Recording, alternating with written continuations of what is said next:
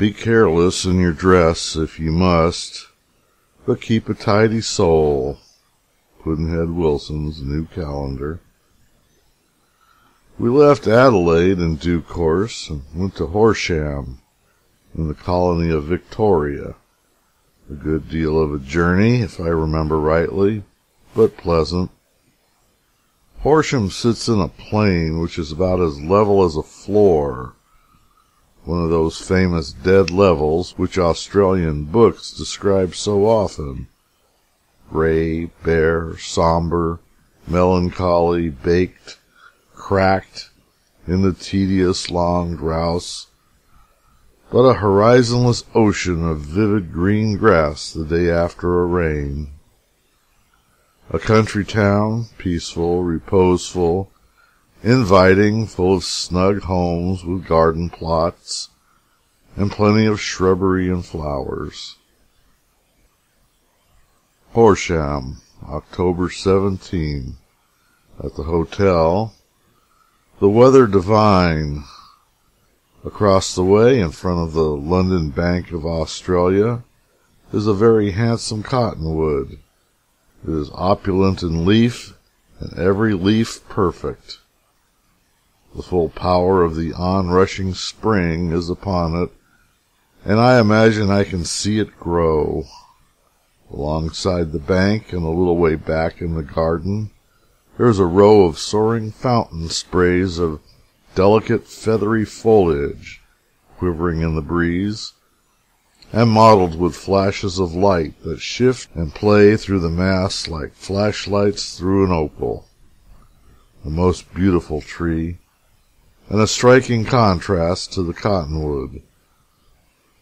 Every leaf in the cottonwood is distinctly defined.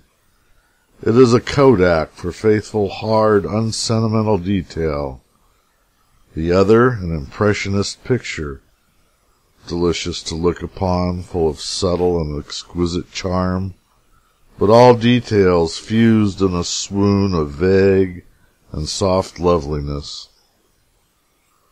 It turned out, upon inquiry, to be a pepper tree, an importation from China it has a silky sheen, soft and rich.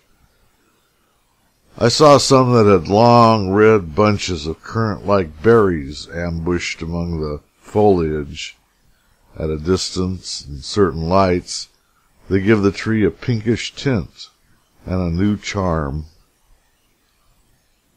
There is an agricultural college eight miles from Horsham. We were driven out to it by its chief. The conveyance was an open wagon. The time, noonday. No wind. The sky without a cloud sunshine brilliant, and the mercury at ninety two degrees in the shade. In some countries an indolent, unsheltered drive of an hour and a half under such conditions would have been a sweltering, prostrating experience.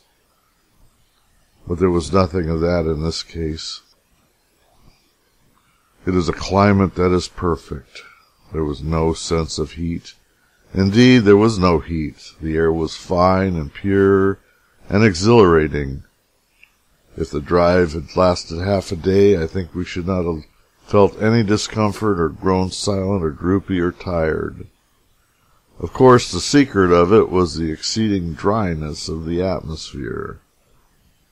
In that plain, 112 degrees in the shade is without doubt no harder upon a man than is 88 or 90 degrees in New York.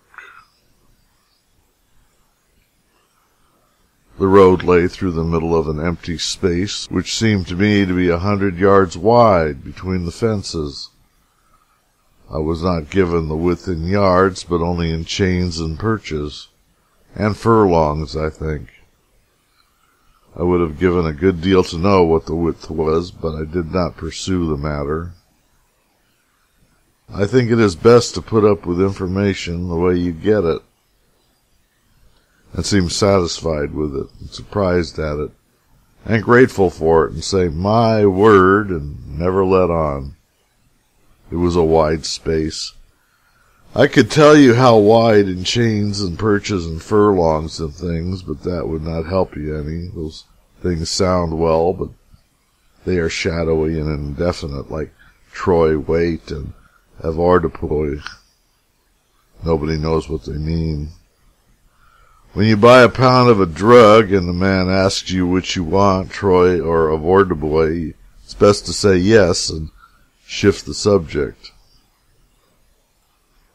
They said that the wide space dates from the earliest sheep and cattle raising days. People had to drive their stock long distances, immense journeys, from worn out places to new ones where were water and fresh pasturage, and this wide space had to be left in grass and unfenced, or the stock would have starved to death in the transit. On the way we saw the usual birds, the beautiful little green parrots, the magpie, and some others, and also the slender native bird of modest plumage, and the eternally forgetful name, the bird that is smartest among birds and could give a parrot thirty to one in the game and then talk him to death. I cannot recall the bird's name, but I think it begins with M.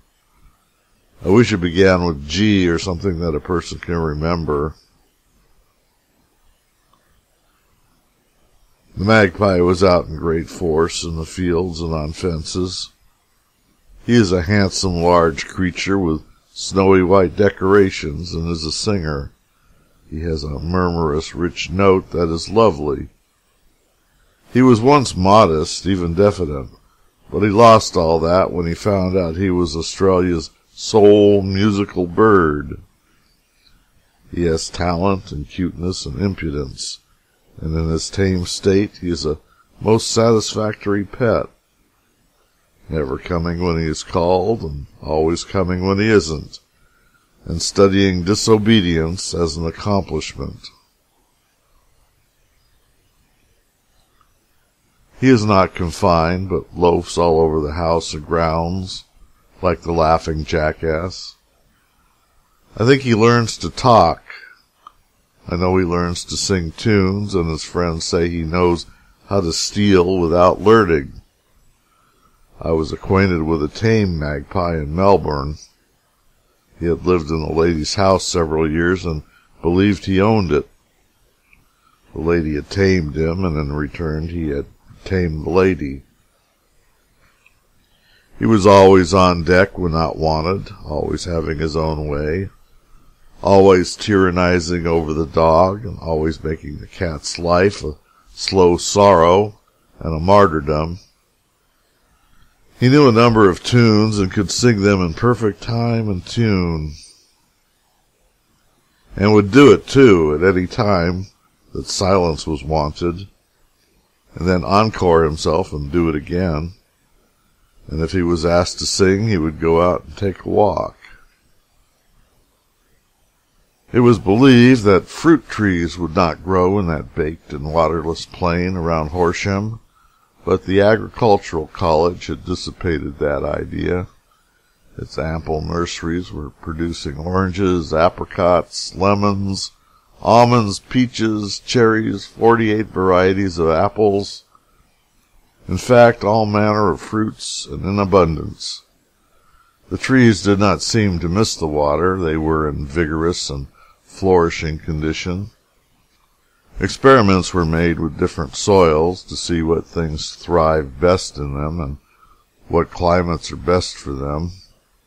A man who is ignorantly trying to produce upon his farm things not suited to its soil and its other conditions can make a journey to the college from anywhere in Australia and go back with a change of scheme which will make his farm productive and profitable.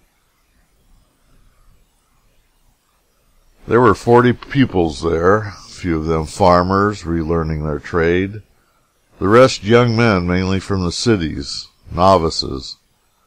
It seemed a strange thing that an agricultural college should have an attraction for city bred youth, but such is the fact. They are good stuff, too, and They are above the agricultural average of intelligence, and they come without any inherited prejudices in favor of a hoary ignorance made sacred by long descent. The students work all day in the fields, the nurseries, and the shearing sheds, learning and doing all the practical work of the business three days in a week. And the other three they study and hear lectures. They are taught the beginnings of such sciences as bear upon agriculture, like chemistry, for instance. We saw the sophomore class in sheep shearing shear a dozen sheep. They did it by hand, not with the machine. The sheep was seized and flung down on his side and held there, and the students took off his coat with great celerity and adroitness. Sometimes they clipped off a sample of the sheep, but that is customary with shearers, and they don't mind it. They don't even mind it as much as the sheep. They dab a splotch of sheep dip on the place and go right ahead. The coat of wool was unbelievably thick. Before the shearing, the sheep looked like the fat woman in the circus, and after it, he looked like a bench. He was clipped to the skin, and smoothly and uniformly. The fleece comes from him all in one piece, and has the spread of a blanket. The college was flying the Australian flag, the gridiron of England smuggled up in the northwest corner of a big red field that had the random stars of the Southern Cross wandering around over it. From Horsham we went to Stawell by rail, still in the colony of Victoria. Stawell is in the gold mining country. In the bank safe was half a peck of surface gold, gold dust, grain gold, rich, pure in fact, and pleasant to sift through one's fingers, and would be pleasanter if it would stick. And there were a couple of gold bricks, very heavy to handle and worth seven thousand five hundred dollars apiece. They were from a very valuable quartz mine. A lady owns two thirds of it. and She has an income of seventy five thousand dollars a month from it, and is able to keep house. The Stawell region is not productive of gold only. It has great vineyards and produces exceptionally fine wines. One of these vineyards, the Great Western, owned by Mr. Irving, is regarded as a model. Its product has reputation abroad. It yields a choice champagne and a fine claret, and its hock took a prize in France two or three years ago. The champagne is kept in a maze of passages underground, cut in the rock, to secure it an even temperature during the three year term required to perfect it. In those vaults I saw 120,000 bottles of champagne. The colony of Victoria has a population of one million, and those people are said to drink 25 million bottles of champagne per year. The driest community on the earth. The government has lately reduced the duty upon foreign wines. That is one of the unkindnesses of protection. A man invests years of work and a vast sum of money in a worthy enterprise upon the faith of existing laws, then the law is changed and the man is robbed by his own government. On the way back to Stawell, we had a chance to see a group of boulders called the Three Sisters, a curiosity oddly located, for it was upon high ground and the land sloping away from it, and no height above it from whence the boulders could have rolled down relics of an early ice drift, perhaps. They are noble boulders. One of them has the size and smoothness and plump sphericity of a balloon of the biggest pattern.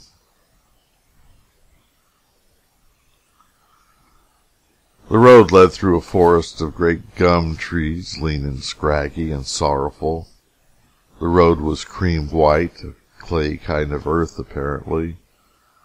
Along it toiled occasional freight wagons, drawn by long double files of oxen.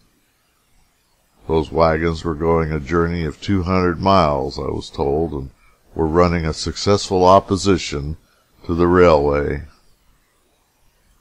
The railways are owned and run by the government. Those sad gums stood out of the dry, white clay, pictures of patience and resignation. It is a tree that can get along without water.